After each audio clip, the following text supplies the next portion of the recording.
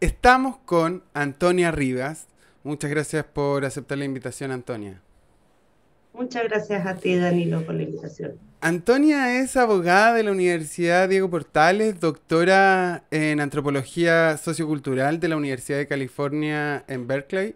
Eh, se ha desempeñado como profesora de antropología en la Católica, ha sido investigadora del Centro de Estudios Interculturales Indígenas, el CIR, famoso, eh, y también en la OIT también en tema, en, tema indígena. Eh, y además fue asesora de la convencional constituyente Rapanui, Tiara Aguilera, en el proceso anterior. Muchas gracias, Antonio, por estar acá. No, muchas gracias de verdad por la invitación. Siempre es un placer conversar de estos temas.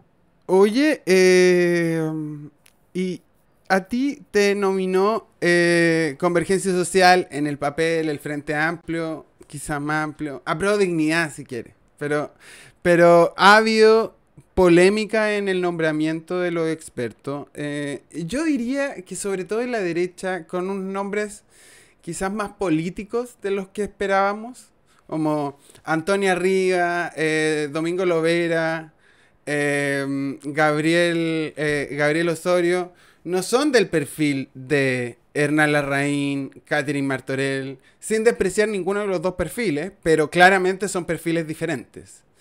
Eh, ¿Qué te ha parecido como esta reacción de la opinión pública al respecto de los nombres en general y en particular estos que han tenido eh, más ruido y también hacer el punto de que también libertad y desarrollo, supongo que en los sectores de apruebo dignidad, los que tú representas, eh, también han hecho ruido la alta presencia de libertad y desarrollo en el, en el Consejo experto. No, comisión experta, perdón. Comisión experta.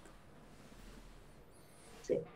Eh, bueno, más allá, yo creo que, que, hay varias cosas en tu pregunta, ¿verdad? Yo creo que la, la, el proceso en su conjunto es un proceso que todavía se está fraguando, si bien ya tiene el reglamento, ya tiene, pero, pero estamos entendiéndolo, ¿verdad? Todos. No solo yo no participé en la redacción ni del reglamento ni del acuerdo por Chile, entonces así como el resto de la ciudadanía, estoy entendiendo, leyendo, estudiando el proceso del reglamento. Entonces, es importante primero aclarar como el rol del Consejo Técnico. Y yo creo que, ¿por qué es importante aclararlo? Porque yo creo que de ahí surgen también... Del, el rol del Consejo, no, el rol de la Comisión Experta. De la Comisión Experta, perdón. Viste que son entonces, ah, se me confunden a mí también. De la Comisión Experta, que son los comisionados. Claro comisionados expertos, eh, yo creo que la lectura sobre el papel, sobre el rol de la comisión experta es lo que hace, y acá me estoy aventurando con una tesis, ¿verdad? Las lecturas sobre los distintos perfiles que se nombran.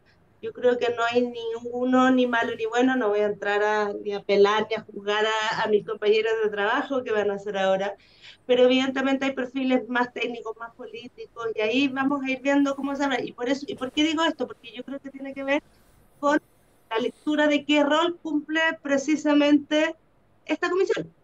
Porque la comisión, a mi juicio, es una comisión que acompaña, acompaña con su expertise técnica, con su, con su conocimiento, para presentar un borrador. Pero el órgano que decide, el órgano que, que va a, a, decidir cómo va a quedar esta constitución finalmente es el Consejo electo. Y eso yo creo que tiene mucho que ver con cómo ven los perfiles. ¿Y por qué digo eso? Porque precisamente el perfil más político de, de la oposición puede llevarse y tener que ver con, con esa necesidad también de acuerdo, con esa necesidad de, de, lograr eso. Y en ese sentido yo creo que precisamente vamos a ver combinaciones de técnica política que van a ser especiales, que ahí vamos a ver cómo, cómo, cómo se van dando. Pero no me gustaría entrar a opinar de los nombres de mis compañeros y compañeras porque lo más importante de verdad, Nilo, y en esto yo creo que es que nos seamos capaces de construir un ambiente y un clima adecuado de trabajo, respetuoso. He dicho en hartas entrevistas que suena cliché, pero es muy cierto. O sea, yo estoy dispuesta a ser persuadida, convencida, con buenos argumentos y espero también del otro lado algo parecido. Y sobre el, el acuerdo propiamente tal, porque una cosa es es con nombre y apellido los expertos que han sido cuestionados o aplaudidos, eh, dependiendo de dónde se mire. Eh, pero el, el, procedimiento propiamente tal de la comisión experta acompañando al Consejo Constitucional en una primera etapa, elaborando un anteproyecto y después sentándose con los eh, consejeros electos de, con voz y no voto, pero acompañándolo en este proceso de crear una nueva constitución. Eh, esa tutela de, de, esta comisión experta no le trae también un problema de legitimidad yo creo que la legitimidad, si bien, y ahí volviendo también a la pregunta, evidentemente la legitimidad de la comisión experta es indirecta, ¿verdad? O sea, no, fuimos electos y eso es evidente y eso hay que hacerse cargo también respecto al proceso anterior, respecto a la legitimidad del proceso anterior y por eso es lo que yo te decía como de las fases, ¿verdad? Yo creo que esto es resultado del, bueno, valga la redundancia, del resultado del plebiscito, de lo que pasó, ¿verdad? Y, y este es el acuerdo al que se llegó la fuerza política, que igual hay que destacar y que es súper importante que, lograron llegar a un acuerdo institucional. Y eso, eso no se ve en todas partes y eso no, no pasa hoy. Perdón, espérate.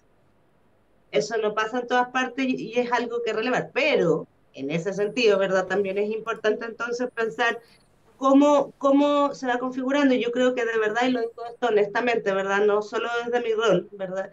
yo creo que eh, el Consejo Constitucional es el que tiene que tener la última palabra.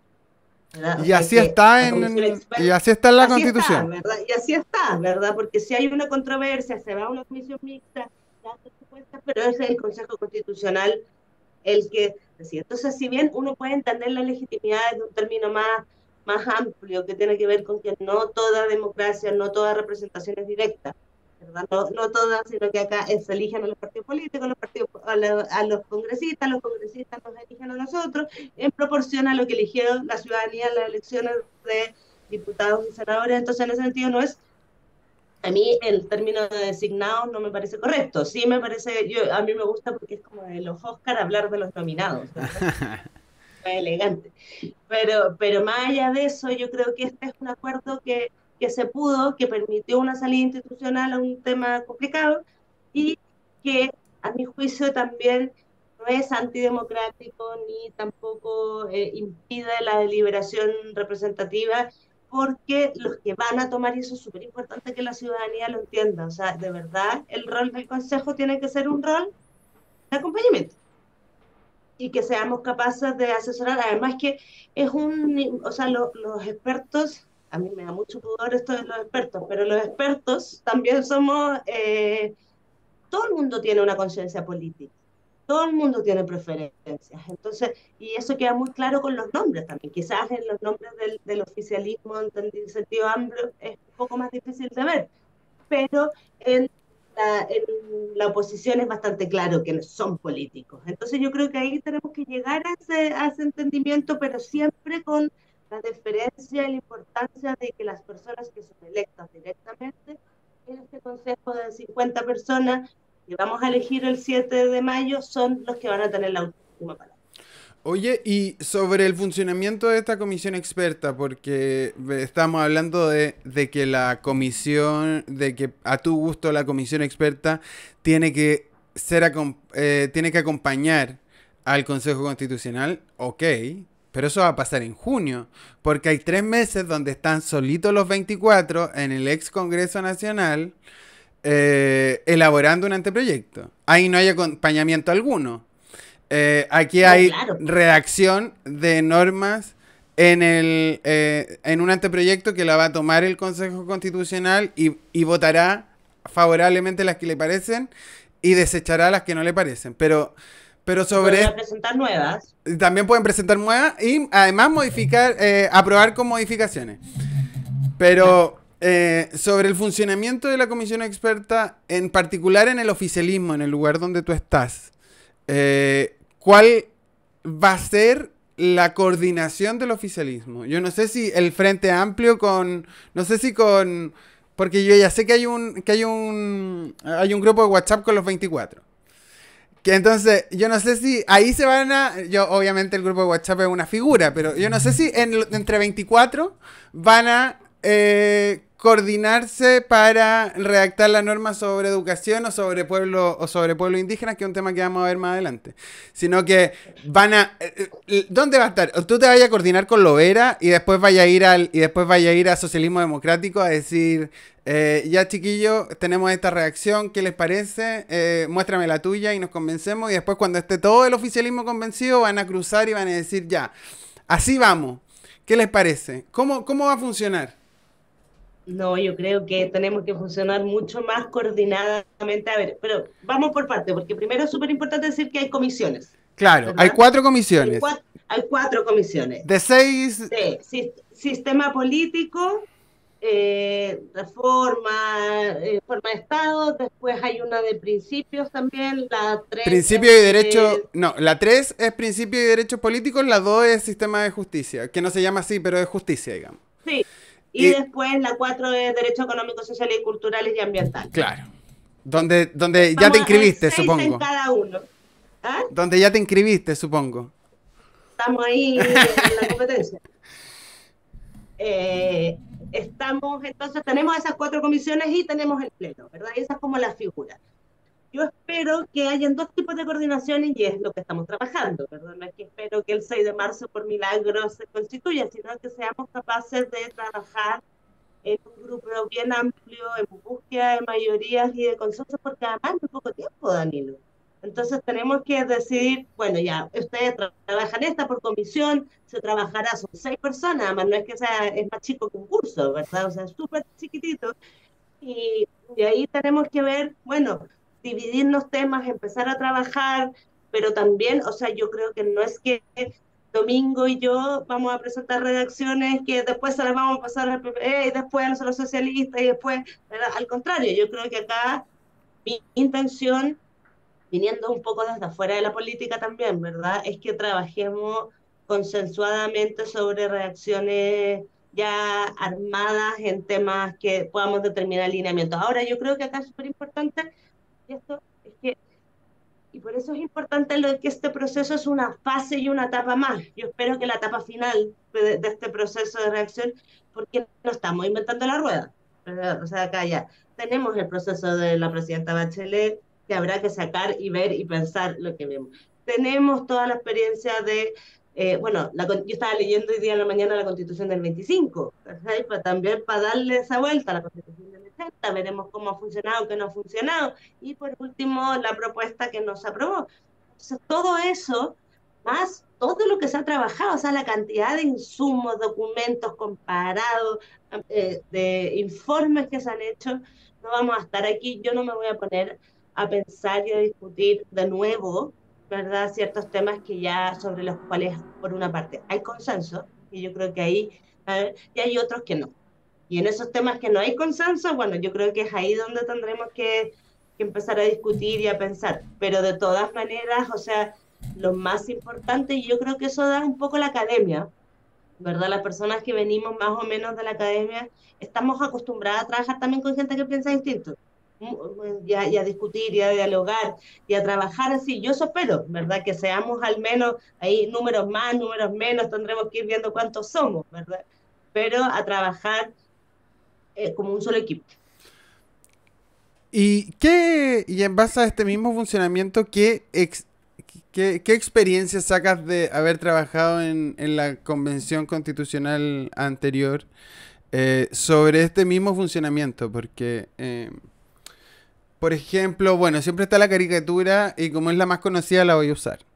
Se juntaban los miembros de eh, la Comisión de Medio Ambiente, mítica Comisión de Medio Ambiente, redactaban una linda norma. Esa linda norma estaban todos felices porque todos eran ecoconstituyentes. Y estaban todos felices. Llegaban al Pleno y se las mandaban de vuelta con 0% de aprobación. Entonces, eh, porque en, la en las comisiones del nuevo proceso van a haber seis personas, tres de cada, tres oficialistas y tres de, oposición, metiendo en el oficialismo aquí a la democracia cristiana, em, para tener 12 y 12. Entonces, claro, va a haber una discusión entre esas tres personas, pero también esa discusión va a permear a los otros nueve de la oposición o del oficialismo para tener los votos en el... Entonces va a ser una cuestión mezclada. No sé qué, qué aprendizaje sacaste trabajando en la convención donde esto no solo ocurrió, para ser justo, no solo ocurrió en medio ambiente, eh, pero todo el mundo recuerda medio ambiente como el mejor ejemplo. Y yo creo que es el mejor ejemplo. Bueno, yo voy a poner otro ejemplo también de la misma convención. Yo trabajé en la comisión 3. Y en la comisión 3. Pero, perdón, eh, ¿cuál es la comisión 3? Estado regional, descentralización. Ya, estado, ya. Forma de la mejor comisión. Forma Estado. La que, le robó, la que le robó todas las atribuciones al, sistema político. Ya ahí estaban peleando. Por ejemplo. bueno. Eh, no, pero en forma de trabajo, esta comisión se caracterizó porque trabajamos juntos y en muchas ocasiones con la derecha. Y por eso te digo como la idea de los consensos y los disensos. Uno tiene que ser capaz de decir, no estamos en desacuerdo en todo no estamos, o sea, hay, hay consensos y hay cosas que ya están fijadas, pienso que ya, o sea, que salgan las bases para que salgan las bases que Chile es un Estado social y democrático de derecho, más allá de exactamente qué significa, y ahí vamos, ¿verdad?, qué, qué implica eso, implica esos consensos. Entonces yo creo que partiendo del oficialismo tenemos que llegar a ese consenso común, ¿verdad? Y, y ahí vamos a tener divergencias que se tratarán adentro pero también hacer el esfuerzo de construir las normas en conjunto es un esfuerzo súper valorable. Y en ese sentido eso es lo que no se dio en la Comisión de Medio Ambiente, que sí se dio en la Comisión de Formato. Sí, yo me acuerdo que, por ejemplo, todas las normas de, de gobiernos locales, de municipalidad, esas fueron todas en conjunto. Con la derecha. Todas. Yo de eso me acuerdo y se aprobó. Un par que tenía que ver con las empresas. Eh, ah, sí, pues empresas municipales y problemas. pero pero en general, entonces yo rescato ese ejemplo, ¿verdad? Lo que se vio para afuera era la Comisión de Medio Ambiente y sus normas, que después jamás ellos también fueron capaces de construir una segunda versión que sí sacó los dos tercios, ¿verdad? Sí, en el primer informe, en el primer informe les devolvieron todo y volvieron con una propuesta que se aprobó, pero en el segundo informe les volvió a pasar lo mismo. Lo mismo, sí. Eh, pero eso no pasó en la comisión que trabajaba yo y yo creo que yo aprendí un montón en la convención a dialogar, a llegar a acuerdos, a, entender un poco los puntos, los intransables, dónde uno tiene que negociar. Y eso yo creo que es súper importante de, de, la cordialidad, de lo importante de, de, ser, de tener un buen trato también, ¿verdad? La, la importancia de, trabajar así. Y yo la verdad es que vengo con, con la convicción de que hay discusiones semánticas que no son relevantes. Pero eso es difícil viniendo de un abogado, ¿no? Bueno, yo es que yo soy antropóloga también, yo creo que es algo que hay que considerar ahí y la verdad es que las discusiones semánticas yo creo que si bien es relevante y es importante, cómo le pongamos el nombre a las cosas, qué, qué nombre le vamos a poner a las instituciones, es lo menos relevante de esta discusión. Lo relevante es el contenido, la forma y cómo, cómo le dotamos de sustancia a, este, a esta constitución que tiene que ser una constitución habilitante. Entonces, en ese sentido, la semántica es bonito, es relevante, pero no es una discusión que nos puede desgastar. Oye, y hablando de semántica, hay una discusión que no vamos a poder dar, eh, o que no van a poder dar ustedes en la comisión experta, que es la del Estado plurinacional, porque hay una base, no recuerdo cuál, que elimina la idea de Estado plurinacional.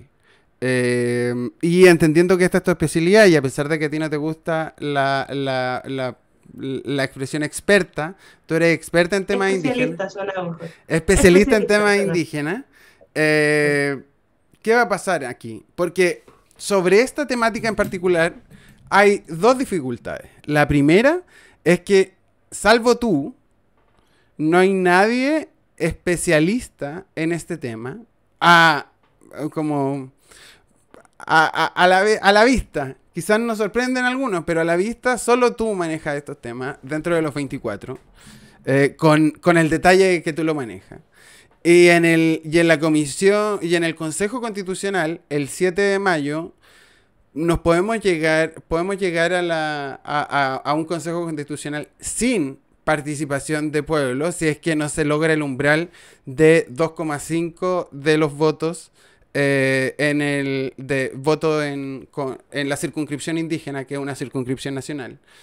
Eh, y 3 y 2, no, es 2,5 y y no, no, es 1,5 y 3,5 y 2,5 y así vais sumando un escaño cada vez. Pero es posible que no nos quedemos con escaño. Entonces, ¿cuál va a ser tu rol en este tema? En esta temática y sobre todo mirando el, mirando el proceso anterior y las dificultades en la opinión pública que tenía el tema de plurinacionalidad. Es la tremenda pregunta, Danilo, y son varias preguntas en una. Perdón. Voy a, hacer, voy a hacer el esfuerzo. Pero, a ver, respecto a los escaños, eh, sí, es súper doloroso, creo yo, y es súper complejo que la posibilidad del acuerdo que dio, o sea, tiene la posibilidad de que no hayan precisamente escaños, sobre todo porque no hay muchos incentivos desde los pueblos indígenas para participar si la aspiración es uno, dos, y además no hay división entre pueblos, y eso, claro, lo hace complejo. Eh, Viendo eso, yo no quiero ser, y es súper importante, yo me dedico a este tema, eh, he trabajado un montón de años en esto, yo no pertenezco a los pueblos indígenas y no soy representante de una voz indígena. Eso porque yo no lo soy y eso quiero que quede súper claro tanto a las personas de los pueblos indígenas como a los que no. Sí tengo evidentemente una sensibilidad especial por el tema y un conocimiento que vengo a poner ahí, pero no soy solo la experta en temas indígenas ni tampoco una representante como política en, en, de los pueblos indígenas. Entonces, si no hay escaños, yo no quiero ser considerada la escaño. Ahora, pero, pero, en el, pero, pero espérate, antes de entrar al tema plurinacional, si llegamos el 7, la noche del 7 de mayo, sin escaños indígenas, eh, por el bien de los pueblos, creo yo, eh, te va, te va a tener que poner. Danilo, yo tengo una convicción que ya la tengo con o sin escaños de que es importante el reconocimiento de los derechos colectivos y lo vamos a ver, ¿verdad? Pero no tiene que ver y quiero que quede súper claro que yo no, no, no soy, ¿verdad? Yo soy tire, como dicen los Rapanui, no soy indígena y ahí en ese sentido es importante tener súper cuenta eso porque no me quiero apropiar de una voz que no es la mía. Eso es súper relevante. Pero eh, sí tengo un deber, un deber establecido, explícito de defender ciertos temas. Y en eso lo tengo claro. Ahora, respecto a la plurinacionalidad, eh, yo tengo acá, yo creo que la plurinacionalidad, eh, yo anuncié en el Mercurio el otro día que, por semántica, nuevamente, ¿verdad? Que yo renunciaba a la idea de la plurinacionalidad en cuanto a que creo que es un conflicto que no estamos en condiciones, o una explicación que no estamos en condiciones de dar por cómo se dio el proceso de la convención. Pero el contenido de la plurinacionalidad, que es lo que se explicó bastante mal y lleno de, nociones erradas, es el reconocimiento de que existen pueblos y naciones indígenas, que es una denominación al interior de un país, que participan en la vida política, ¿verdad? De un Estado. Eso, cuando hablamos de Estado unitario, no se rompe, cuando hablamos de un, un solo territorio, no se rompe. Entonces, la idea del reconocimiento de los pueblos, ¿por qué? Porque esto va a sonar difícil, pero yo siempre digo que si hubiéramos dicho pluripueblidad, o sea, una multiplicidad de pueblos, nadie hubiera entendido de qué estábamos hablando probablemente, pero no llevaba esa contradicción con la idea de la nacionalidad. Ya, pero yo tengo... La Sí, pero... Pero eh, damos un segundo. la nacionalidad en Chile es una. Somos todos chilenos.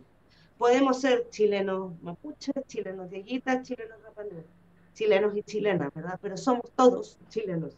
Y la idea de la plurinacionalidad no rompía con eso. Rompía con que dentro de esta nacionalidad existían pueblos y naciones. Pero la idea de nación es una idea que, que, se atendió poco, ¿verdad? Porque es, es, sí. Pero es que tengo una duda. Yo soy apenas cientista político, entonces, y debería saber estas cosas. Pero eh, no lo sé, así que te lo voy a preguntar. Con un poco de vergüenza. Si tenemos una nación, eh, entiendo que pueden haber pueblos dentro de, esa nación, pero tú dijiste que pueden haber pueblos y naciones dentro de la nación chilena. Porque... Mira, no, piensa en Estados Unidos. Piensa en Estados sí. Unidos. ¿Cómo se llama? Esa, eh, son todos norteamericanos, americanos, como queramos ponerle, ¿verdad? Existen la nación bajo la nación, no sé qué, que han pactado, han firmado tratados, se han relacionado directamente con la Casa Blanca. ¿Has visto las series de White House? Te apuesto que sí, ¿verdad? Que llega el gran jefe Cherokee a conversar con la Casa Blanca. ¿Por qué? Porque las relaciones son de nación a nación. Eso no quiere decir que los Mohawk, que los navajos no sean norteamericanos. Claro. Son norteamericanos y son navajos. Esto es lo mismo, ¿verdad? O sea, somos todos chilenos y chilenas, pero aparte tenemos otra identificación algunos, que es la pertenencia a un pueblo, porque una nación, la palabra nación, y por eso yo creo que induce a confusión, y es cierto, allá se llaman naciones. La nación en, en, en New Zealand es la nación Maori, la nación Maori, ¿verdad? Y eso nadie, nadie en New Zealand dice, no, lo que pasa es que los Maori quieren terminar con la nacionalidad neozelandesa. Pero acá se generó esa confusión porque la, no, es la, no es el mismo tipo de nación, no es el mismo tipo de soberanía. Los pueblos indígenas tienen, por ejemplo, según el derecho internacional, libre determinación, pero no es la misma libre determinación que tiene un país para determinar fronteras y tener ejército, claro. tener policías, no.